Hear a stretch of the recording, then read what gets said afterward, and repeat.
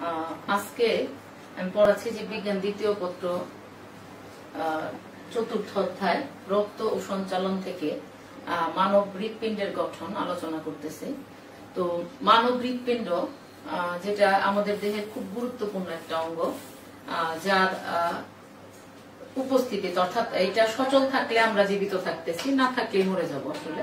তো এই হৃৎপিণ্ডের আমরা যেটাকে বলি হার্ট অথবা জেনারেলি মানুষ যেটা বলে আত্মা। তো এই হৃৎপিণ্ডটা সর্বদা সংকোচন প্রসারণশীল থাকে অর্থাৎ একবার বেলুনের মতো সংকুচিত হয় আবার প্রসারিত হয়। আর যার ফলে সারা দেহ থেকে রক্ত একবার হৃৎপিণ্ডের ভেতরে আসে আবার হৃৎপিণ্ড থেকে সারা দেহে প্রবাহিত হয়। তো আমাদের এই আহ, হৃৎপিণ্ড যেটাকে যদি বলি যে তুমি কি কখনো দেখেছ? আহ, হৃৎপিণ্ড মানুষের হৃৎপিণ্ড। তো আসলে ডাক্তার হলে হয়তো দেখা সম্ভব, কিন্তু আমরা যারা সাধারণ মানুষ, তাদের পক্ষে বাস্তবিক অর্থে দেখা সম্ভব হয়নি। কিন্তু অন্য কোনো প্রাণীর ক্ষেত্রে যদি চিন্তা করি, যেমন তুমি গরু হতে পারে বা মুরগি হতে পারে, এগুলা কাটলে যে হৃৎপিণ্ডটাকে তুমি ইচ্ছা করলে দেখতে পারো। যদিও আমাদেরটার মতো হুবহু একরকম না, কিন্তু আমাদেরটার সাথে অন্তত একটা সিমিলারিটি আছে। তো এই হৃৎপিণ্ড যেটা, সেটাকে আমরা জেনারেলি বলে থাকি বিসমিল্লা যেটা বলি আসলে।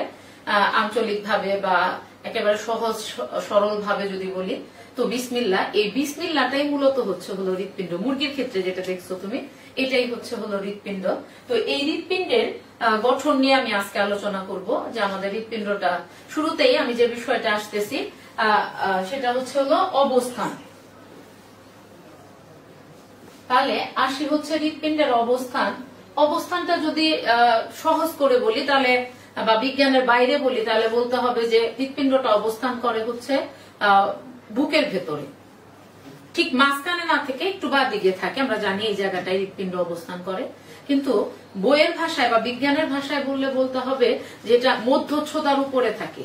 মধ্যচ্ছদা দ্যাট মিনস আমাদের স্তন্যপায়ী প্রাণীদের বুক আর পেটকে আলাদা করার জন্য এরকম আড়াআড়ি ভাবে একটা পর্দা থাকে, যেটাকে বলা হয় মধ্যচ্ছদা বা ডায়াফ্রাম এই মধ্যচ্ছদার উপরের অংশটাকে বলা হয় বক্ষ গহ্বর, আর নিচের অংশটাকে বলা হয় উদর গহ্বর। তো আমাদের এই হৃৎপিণ্ডটা অবস্থান করে মধ্যচ্ছদার উপরে, ঠিক দুইটা ফুসফুস, যে দুই ফুসফুসের মাঝখানে, তবে একটু বা দিক ঘেসে অবস্থান করে।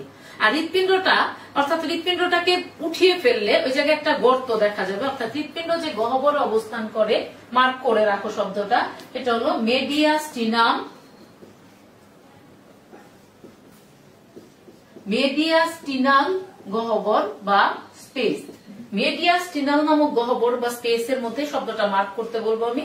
গহ্বরের মধ্যে অবস্থান করে আমাদের হৃৎপিণ্ডটা। এই হৃৎপিণ্ডের এবারে যে আলোচনাটা আসতেছি আমি, সেটা হচ্ছে হৃৎপিণ্ডের আকার আকৃতি। দেখো।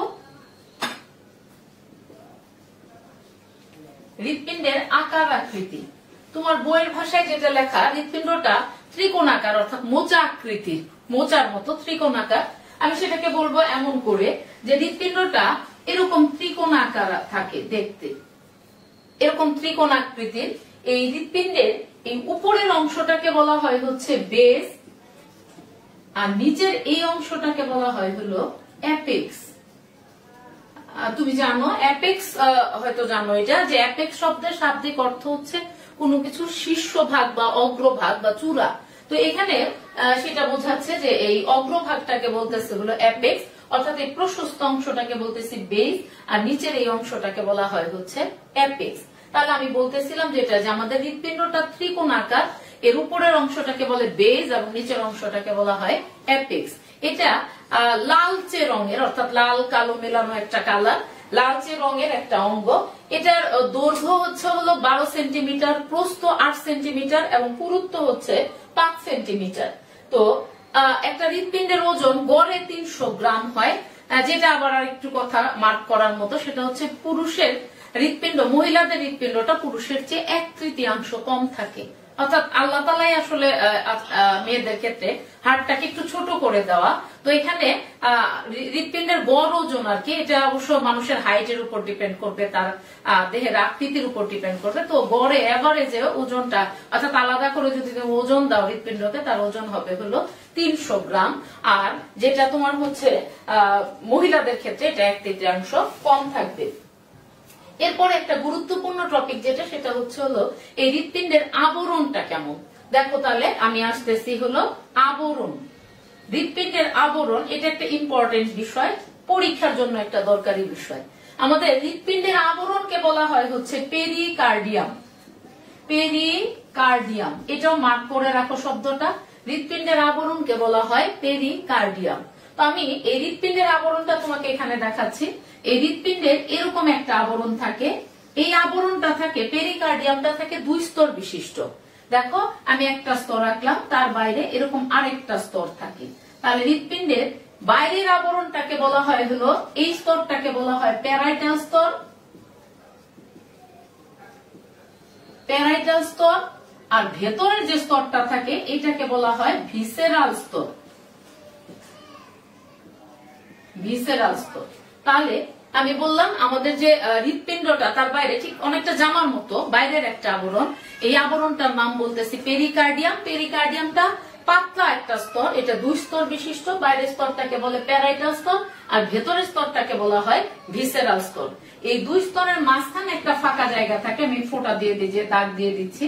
এই ফাঁকা স্থানটাকে বলা হয় হলো পেরিকার্ডিয়াল স্পেস বা পেরিকার্ডিয়াল গহ্বর। এখানে একটা তরল পদার্থ থাকে, এই শব্দটাও আমি মার্ক করতে বলব। পেরিকার্ডিয়াল রস বা পেরিকার্ডিয়াল ফ্লুইড এই পেরিকার্ডিয়াল রস বা ফ্লুইড যে কাজটা করে, সেটা হলো হৃৎপিণ্ড তো সংকুচিত, আবার প্রসারিত হয়। এই সংকোচন প্রসারণের সময় হৃৎপিণ্ডকে ঘর্ষণজনিত আঘাত থেকে রক্ষা করে।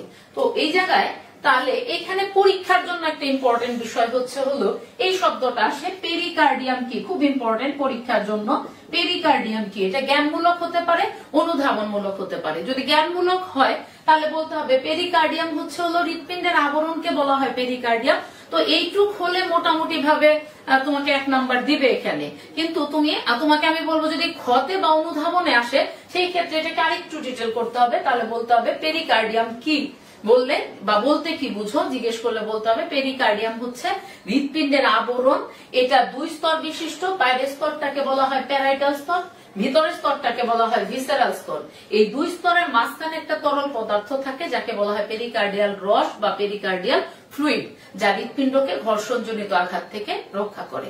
মানে যদি অনুধাবনমূলক প্রশ্ন আসে বা আমি মনে করি যে জ্ঞানমূলক হলেও সরি জ্ঞানমূলক হলেও তোমার এই পুরা অংশটা দেওয়া আমি মনে করি ভালো হবে তোমার জন্য। তো এটা একটা বোর্ড পরীক্ষা আসার মতো প্রশ্ন। পেরিকার্ডিয়াম বলতে কি বুঝো বা পেরিকার্ডিয়াম কি? এরপরে যে অংশটা আসি, সেটা হচ্ছে হলো হৃৎপিণ্ডের প্রাচীর।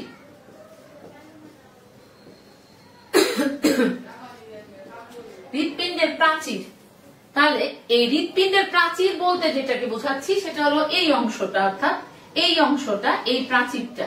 তাহলে হৃৎপিণ্ডের প্রাচীর, এটা গঠিত থাকে হৃদ পেশি বা কার্ডিয়াক পেশি দ্বারা। এটাও একটা ইম্পর্টেন্ট শব্দ, তাহলে আমরা বলব হলো হৃদ পেশি বা কার্ডিয়াক পেশি দ্বারা গঠিত থাকে হৃৎপিণ্ডের এই প্রাচীরটা। আমাদের দেহের আর কোনো জায়গায় কিন্তু হৃদ পেশি থাকে না। এটা একটা অনুচ্ছিক পেশি। এটা হৃদ পেশি বা কার্ডিয়াক পেশি দ্বারা আমাদের হৃৎপিণ্ডের এই প্রাচীরটা গঠিত থাকে। এটা, এই প্রাচীরটা তিনটা স্তরে বিভক্ত। আমি যদি চিত্রটাকে এভাবে দেখি, তাহলে দেখো একটু। এভাবে দেখি, তাহলে যে বিষয়টা দাঁড়াচ্ছে, এই অংশটার নাম বলতেছে আমি এপিকার্ডিয়াম। এপিকার্ডিয়াম মাঝখানে আরেকটা স্তর থাকে, এই অংশটার নাম বলা হয় মায়োকার্ডিয়াম আর এই ভেতরে একটা স্তর, একটা অংশ থাকে, এটার নাম বলা হয় এন্ডোকার্ডিয়াম। অর্থাৎ এই হৃৎপিণ্ডের বাইরের যে স্তরটা, অর্থাৎ এটা তিন স্তর বিশিষ্ট, প্রাচীরটা এটা বাইরেরটা এপিকার্ডিয়াম মাঝখানে থাকে মায়োকার্ডিয়াম আর এন্ডোকার্ডিয়াম হৃৎপিণ্ডকে চারটা প্রকোষ্ঠে ভাগ করে।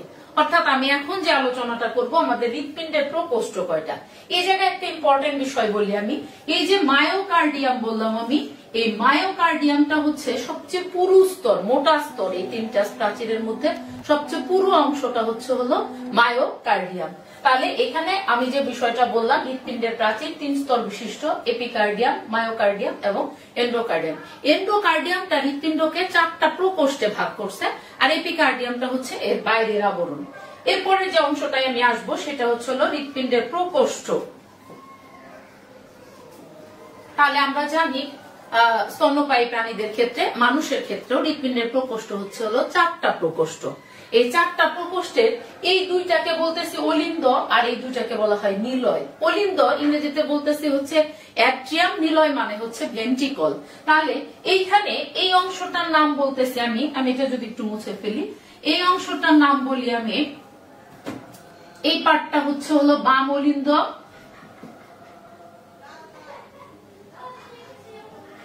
বাম অলিন্দ। আর এই অংশটা হচ্ছে হলো বাম নিলয়। এটার নাম হচ্ছে ডান অলিন্দ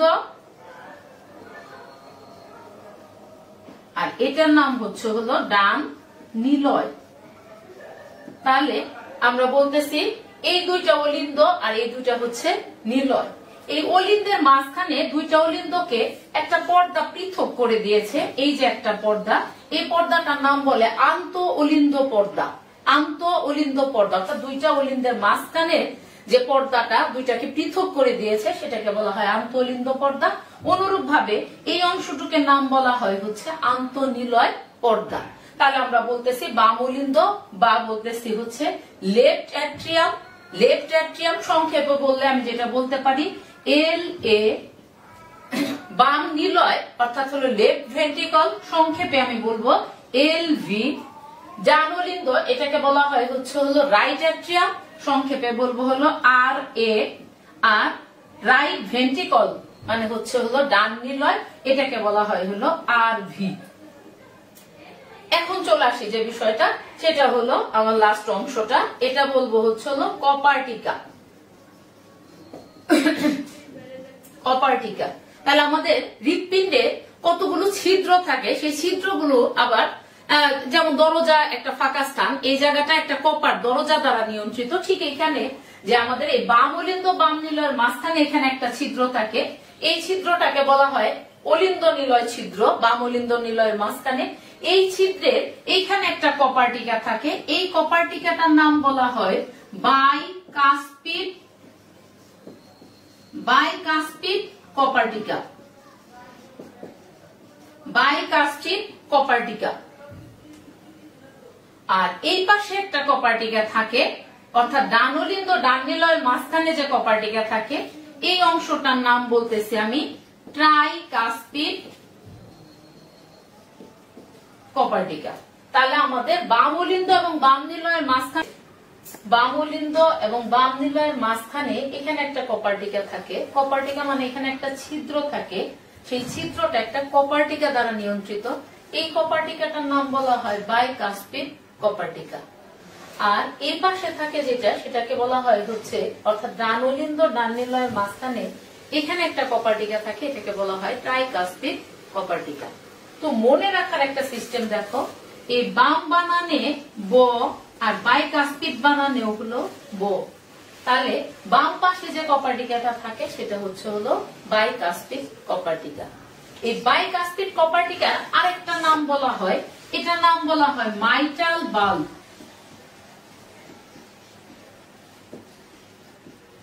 মাইটাল বাল্ব।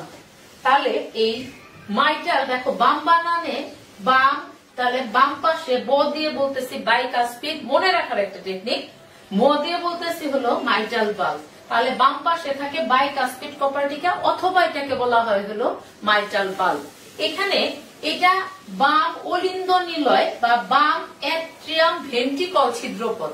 আমি দেখতেছিলাম যে মেডিকেলে ভর্তি পরীক্ষা আঠারো সালের একটা কোশ্চেন ছিল এরকম মেবি আঠারো সালের কোশ্চেন যে এই বাম অর্থাৎ left atrio ventricular atrio ventricular ছিদ্রপথে কোথায় বাই কাপ থাকে মানে বাই কাস্পিড থাকে আর কি বাই কাপ থাকে। কাস মানে পত্র বা কপার্টিকা মানে কপার তো এখানে আমি এই বিষয়টা আসি যে বাই কেন বলল? বাই মানে তুমি জানো দুই। তাহলে এখানে আগের দিনের যেমন দরজা জানালা গুলা ছিল, সেখানে দরজার দুইটা পার্ট যেরকম থাকে, অর্থাৎ এই পার্টটা খুলে যায়, আবার বন্ধ হয়ে যায়। তাহলে এই, এজন্য এখানে দুইটা কপার থাকে, তাই বলা হয় হলো বাই কাস্পিড কপার্টিকা আর এই পাশে থাকে হচ্ছে হলো তিনটা কপার অর্থাৎ বিষয়টা এরকম যদি দেখি, তাহলে এই একটা কপার এই একটা কপার এই একটা কপার অর্থাৎ এটা যদি সরে যায়, তাহলে এটা বড় হয়ে যায় আর যদি এটা সংকুচিত হয়, তাহলে এটা ছোট হয়ে যায়। এটাকে বলা হয় ট্রাইকাস্পিড কপারটিকা তো আমি যেটা বলতেছিলাম, আমি একটু বইয়ের সাহায্য নেই। আঠারো সালের একটা প্রশ্ন ছিল মেবি এটা। হৃৎপিণ্ডের কোন কপারটিকা তিনটি কাজ থাকে না? তিনটি কাজ থাকে না। তাহলে আমরা বলতেছিলাম ট্রাই কাস্পিডে থাকে হচ্ছে তিনটা কাজ কিন্তু বাই কাস্পিডে থাকে দুইটা কাজ কাজ মানে কপার তাহলে এখানে দুইটা থাকে। তাহলে প্রশ্নটা ছিল, আঠারো সালের মেডিকেলের পরীক্ষার একটা কোশ্চেন ছিল যে হৃৎপিণ্ডের কোন কপারটিকায় তিনটি কাজ থাকে না? তাহলে আমাদের উত্তরটা হবে হচ্ছে হলো, এই বাই কাস্পিড কপারটিকায় তিনটা কাজ থাকে না। তাহলে এখানে একটা ইম্পর্টেন্ট বিষয় এটা, যে এখানে থাকে বাইকাস্পিড কপারটিকা আর এখানে থাকে ট্রাইকাস্পিড কপারটিকা তো আমি যে আলোচনাটা করলাম, সেই আলোচনাটা হচ্ছে হলো যে হৃৎপিণ্ডের মোটামুটি একটা গঠন নিয়ে আলোচনা করা। আমি পরবর্তী ক্লাসে আলোচনা করব যেটা, সেটা হচ্ছে হৃৎপিণ্ডের লম্বচ্ছেদের ছবিটা আঁকবো এবং তার লেভেলিং যে জিনিসটা, সেই লেভেলিংটা আমি করব। এটা আমাদের বোর্ড পরীক্ষার জন্য ইম্পর্টেন্ট একটা কোশ্চেন আগামী যে ক্লাসটা আমি করাবো, সেটা বোর্ড পরীক্ষায় আসা একটা প্রশ্ন। এখান থেকে আসবে না তা না। এখান থেকে আমি দেখতেছিলাম যে মেডিকেলের পরীক্ষায় আঠারো সালে এই রক্ত রিলেটেড পাঁচটা মেডিকেলের কোশ্চেন ছিল রক্ত থেকে।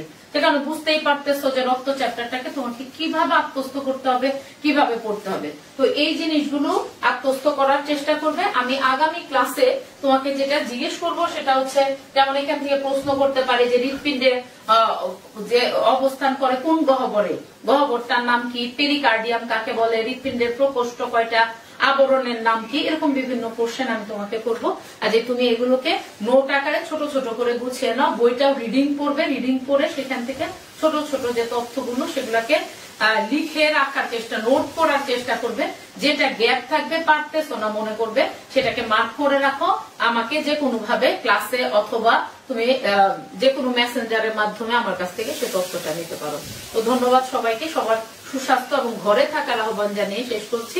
ধন্যবাদ সবাইকে। আসসালামু আলাইকুম।